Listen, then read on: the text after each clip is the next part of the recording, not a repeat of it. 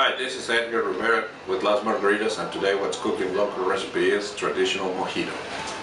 Okay, we're gonna get our fresh mint. Yeah, put it in a and glass. Okay, some limes. Yeah, put simple syrup.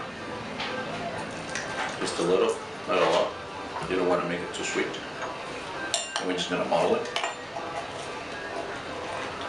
Try to muddle it as much as you can you get the mint flavors out. And it's very simple, just now put it in a glass.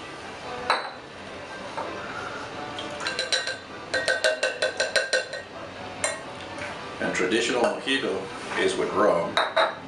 We make it here with a Mexican tequila, which can be with tequila, but we're gonna make it just with rum. Just put about an ounce.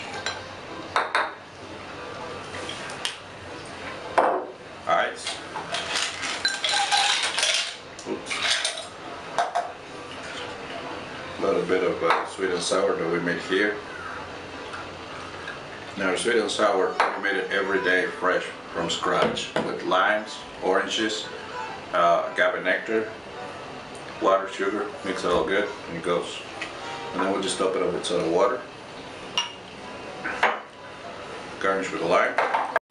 And that's our traditional mojito. This is Edgar Rivera with Las Margaritas and that's what's cooking